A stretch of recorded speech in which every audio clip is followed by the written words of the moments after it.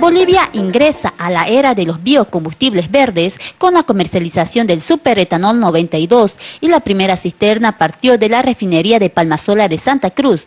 Este biocombustible amigable con el medio ambiente alargará la durabilidad de los vehículos, además con ello se disminuirá la subvención de los combustibles. Este biocombustible se comercializará primero en 19 estaciones de servicios. Del proyecto etanol anhidro se tendrá un incremento de 0,9% en PIB global del primer periodo, con un incremento anual promedio 0,4 puntos porcentuales del PIB global para la gestión 2025. La producción de etanol anhidro evitará que las divisas salgan al extranjero por la importación de insumos y aditivos en 80 millones de litros el año 2019, hasta 380 millones de litros al 2025.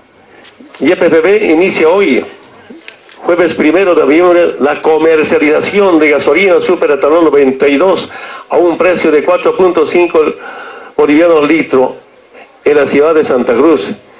Y la semana, y a la semana del 5 de noviembre en las ciudades de La Paz, Cochabamba y Tarija, con un volumen estimado hasta el fin del año, como decían ocho ministros, de 55 millones de litros mensuales en de esta gasolina.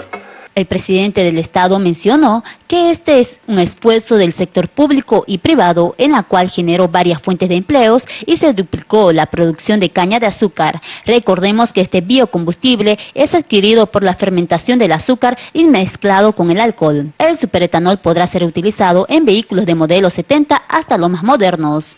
Ahora contamina menos este combustible, es más amigable con el medio ambiente, armoniza perfectamente con el medio ambiente, se van a cumplir las normas vigentes, se incentiva la producción nacional y se generan fuentes de trabajo, se disminuyen las subvenciones y crecemos como país.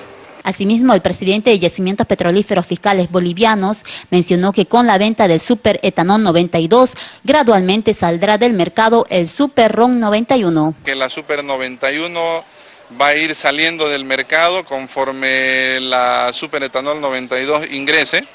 Eh, tiene un precio de 4.5 bolivianos el litro.